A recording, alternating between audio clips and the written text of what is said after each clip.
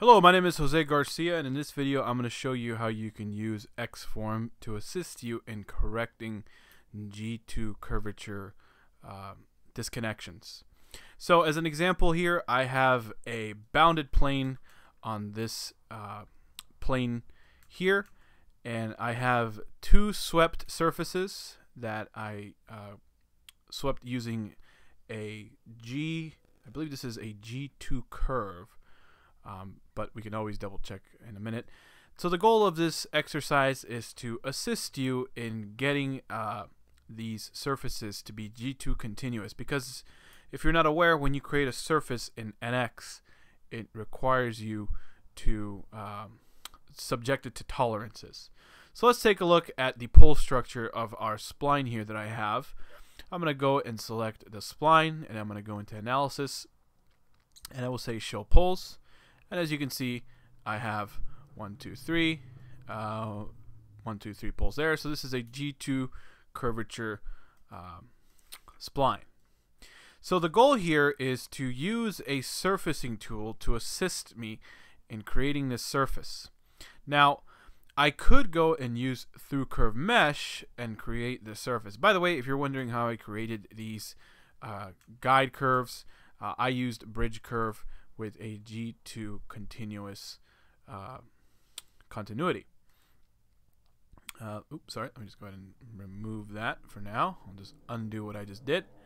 So I could go in here and use through curve mesh. That'll totally work.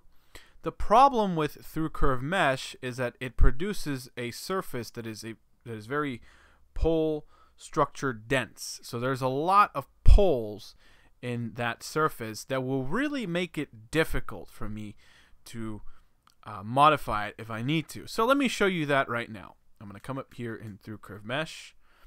Uh, I will select a curve or point. So I'm going to select my splines here. Oops, sorry about that. Let me get rid of that. I will add a new set. I will put this one here as well, like that.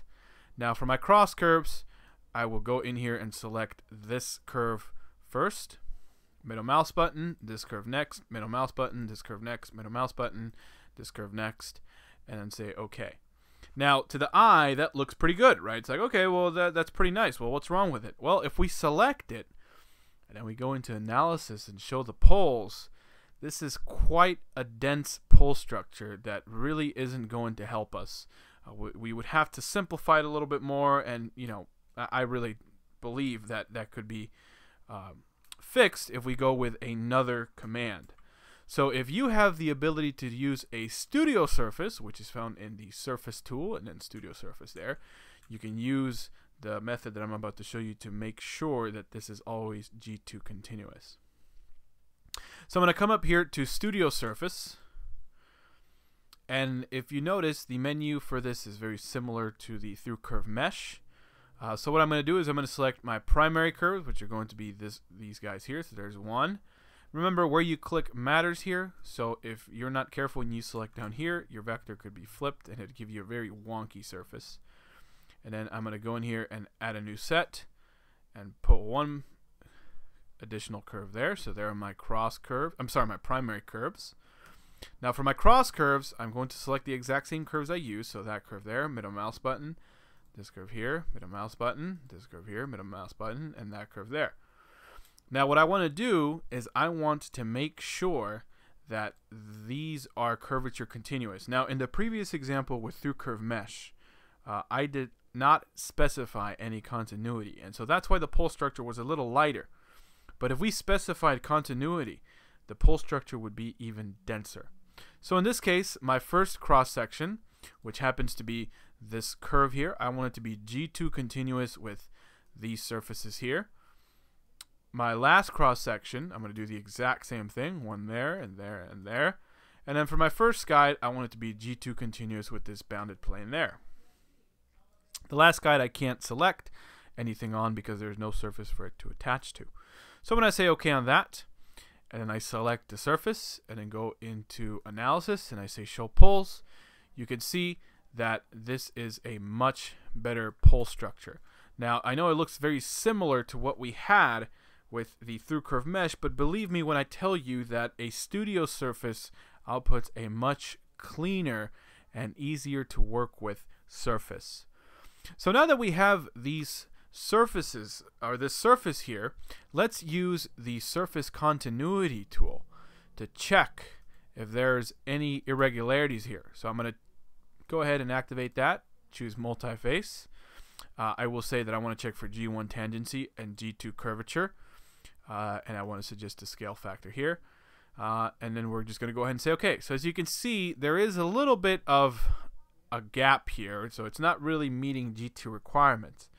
Now I know what you're thinking, well, why isn't it doing that? Because we specified G2 curvature continuity, so why isn't it following that uh, continuity? And the answer to that is because these surfaces are subject to a tolerance. So we have to go in there and fix it so that this will not be a problem. So the way we're going to fix it is by using Xform. And this is how I would fix it. So if I come up here into the Home tab, I can go into the Datum Plane and Point Set. And instead of using curve points, I'm going to choose spline points. And here where it says spline point type, I'm going to use poles. And I'm going to select this curve here. So there's one. Let's go ahead and say apply. I'm going to grab these poles here as well. Go ahead and say apply, and I'm going to grab these poles down here as well. And then say OK.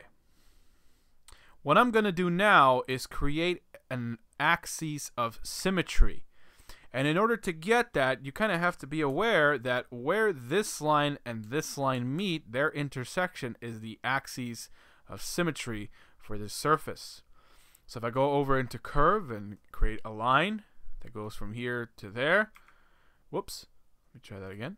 From there to there, hit apply. Then from here to there, they hit OK. And then come over into the home and then activate the point command. I can choose an intersection point. So I will select this curve here to intersect with that curve there. And it gives me my point. So now what I want to do is create a datum plane by three points. So if I come down here, I can choose the datum plane command. And I can select that point there. The first point on my pole, that is from the top bridge curve. And then the third pole on my bottom bridge curve. Or I should say the first pole of the third bottom bridge curve. So I'm going to go ahead and then say apply and I'll do the exact same thing for this next one. So one there, and I'll put another one right there. And go ahead and say OK. So the reason why we're doing this is because we have to line up the pole structure of this surface so we can achieve G2 continuity.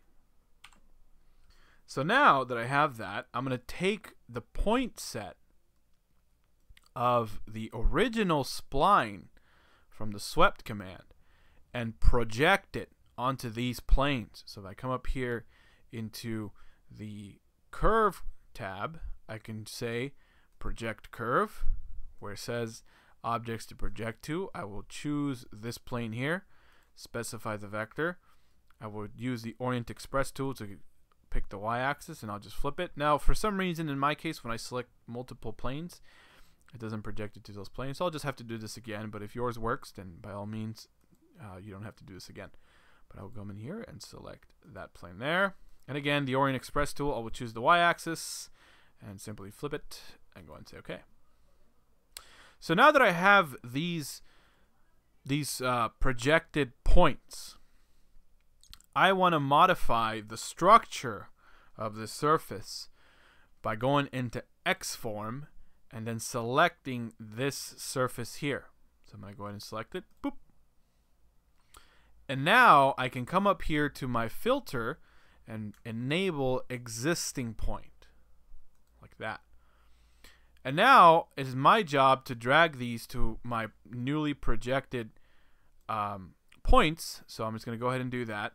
What I want you to be aware of is this G2 Max 2.0 that sits up here watch what happens when we're finished with this surface. So I'm just going to go in there and drag these in there like that. I'll drag this one in there like that. And then this one I'll drag it in here like that. Same thing is true for this one. So I'll move this one over here. I'll move that one over here. I'll move that one over here. I'll move this one there. And I'll move that one there. And then, just for good measure, let's make sure that this one is also set. And take note that now that G2 max is set to 0. So we have successfully achieved G2 continuity. We have not done it to this side, so if we take a, an analysis, a surface continuity analysis, uh, oops, let me try that again because it's very sensitive. You can see that when I enable G2 curvature, this side is still messed up, so we need to fix it. So, so we just so we can get it out of the way, I'm going to go ahead and simply mirror both of these projected uh, curves. So I'm going to come up here into the home, drop this down and put a point there like that. I'm going to say, I'm sorry, I should say point on curve. Select the curve there. I want an arc length percentage, which will be 50% of the way, which is halfway through. And now I'm going to go in here and put a plane on that point through the curve. And finally, I will simply take these point sets that I have, or I'm sorry, these projected curves, and mirror them over to the other side using the mirror feature command. So I'll come down here and then say mirror feature, and I will select that plane there. We'll say OK. And now I'll just drag the X form all the way down, and we can come in here and edit these poles and make sure you have existing point enabled. We're just going to go ahead and drag that one there. We'll drag this one there, and we'll drag that one there. So we'll drag that one there. And we'll put this one here as well. And just for good measure, I just want to make sure that this one is on the right point as well.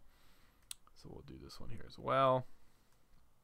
Again, take note of this G2 max. Put that one there. Put that one there. And as you can see, after we have successfully aligned these poles, we get rid of that G2 max line.